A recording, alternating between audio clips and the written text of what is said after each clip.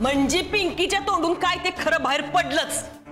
म्हणजे तुम्ही दोघी मिळून मला अडकवण्याचा प्रयत्न करताय? अगं एक नंबरची खोटारटी आहेस ग तू तायडे.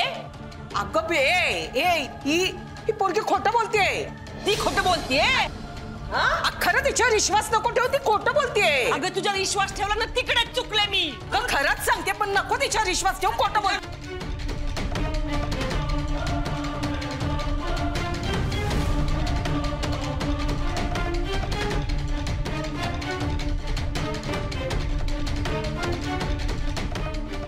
तुझं काही ऐकायचंच नाही. अगं कशाला ऐकशील तू? हा? कशाला ऐकशील?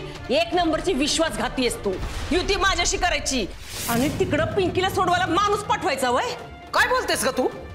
काय बोलते बरोबर बोलतेय. काय चुकीचं बोलतेय हा? उगाच मला सांगायचं की तुझ्या मनात त्या घाटवाडीच्या पोरीबद्दल तिरस्कार आहे. आणि इथं मलाच दगा द्यायचा वा. हे बघ सगळेच काही तुझ्यासारखे घरफोडे नसतात. कळलं ना? आणि काय ग? कुठल्या विश्वासघाताच्या गोष्टी करते तू?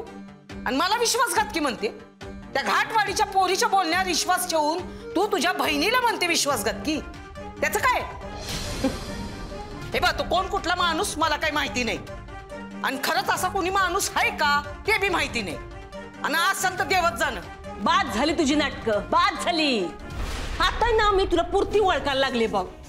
तुला मी या घरात नकोय ना म्हणून हे सगळे डबल गेम खेळतीस माझ्या बरोबर जरा थंड डोक्याने विचार कर. कळलं ना? हाय ना डोकं? मग वापर की जरा. कशावरनं ही त्या पोरीची चाल नसेल कशावरनं तो माणूस तिचाच नसल? असू शकते ना? अरे कसले तुझे प्लान तुझे प्लानच फुसके असतात ना? म्हणून त्या पोरीला सहज वाट काढता येते. कळलं ना? हे बघ उगाच मला दोष देऊ नको. कळलं ना? ह्याच्यात सगळी चूक तुझीच आहे. आणि मला सांग त्या घाटवाडीच्या पोरीशी संगनमत करून मी तिची बाजू घेईन. म्हणजे आयुष्यभर ज्या पोरीचा मी तिरस्कार केला मी तिची बाजू घेते. असं म्हणायचं तुला? अरे उलट घाटवाडी बद्दल तुला जास्त प्रेम आहे कळलं ना? कारण तिकडे जाऊन शेण खाल्लायस ना तू? बाद झालं तायडे. काय बोलतेस कळतंय का तुला? काय गरज काय जुनी सगळी उनी दुनी काढायची? परत जर का काढलीस ना तर लक्षात ठेव. बरं बरं ठीक आहे. ठीक आहे.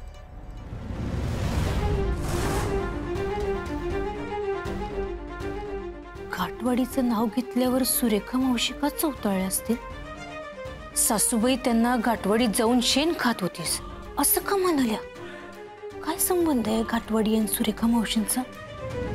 म्हणजे सुरेखा मावशींच्या भूतकाळात घाटवाडीशी संबंधित काही ना काहीतरी घडलेलं आहे. आणि मला ते शोधून काढायला हवं. पण कसं शोधायचं? आयडिया हे बघ तायडे माझ्याकडे अजून बी एक आयडिया आहे हा झाल्या आता बास झाल्या तुझ्या फालतू आयडिया झालं एवढं पुरे झालं. आता बास. हे बघ तुझ्यापेक्षा त्या घाटवाडीच्या पोरीला मी जास्त चांगली ओळखते. कळलं? तेव्हा तिला वाटणीवर कसं आणायचं ना हे तुझ्यापेक्षा मला जास्त चांगलं कळतं. तेव्हा आता मी सांगते ना ते ऐकायचं. आता खाव असा घालायचा ना का त्या खाटवाडीच्या पोरीच्या वर्मीच लागला पाहिजे.